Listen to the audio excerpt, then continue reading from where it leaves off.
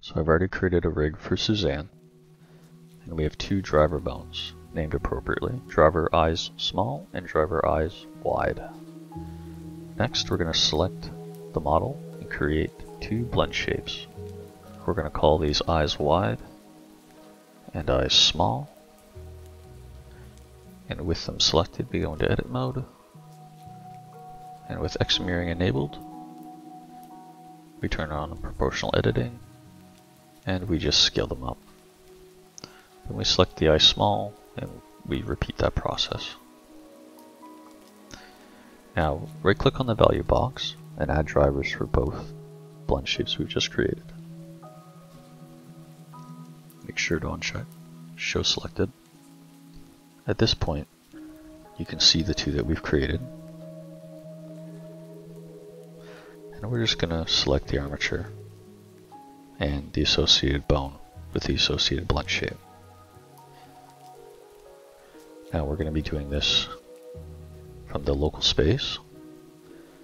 And when we move the bone in a positive x direction, the value goes from 0 to 1. And we're going to repeat the process for the eyes small blend shape as well.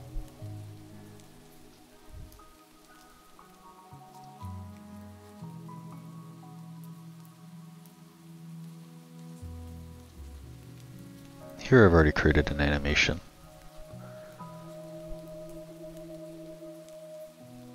We're going to export this now into Unity.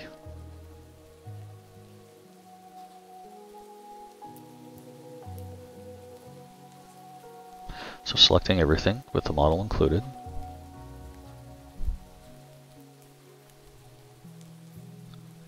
We're going to export FBX. And we're just exporting the model and the armature here. No animation data. So we're going to disable bake animations because we don't need that for this file. And you can just copy the settings here on the right side. Now we're going to repeat the same process, but activate the animation and again export FBX.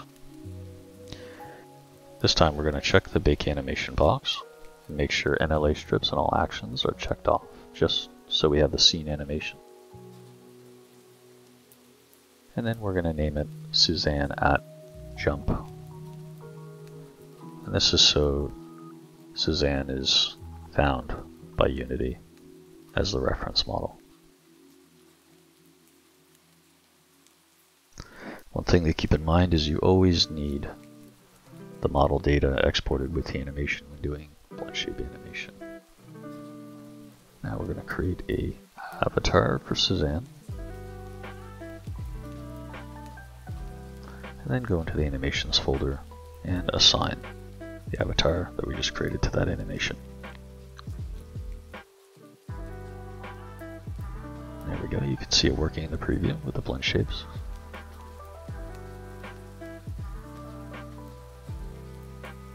Okay, now we're going to create an animation controller.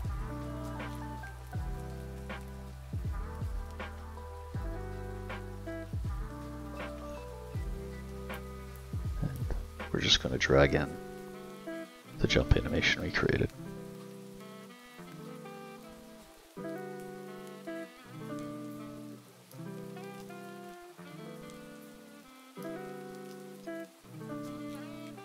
From here, we drag the model into the scene and we set up our camera. Make sure you assign your animation controller to the model uh, in hierarchy. There you go. Blend shapes in Unity from Blender.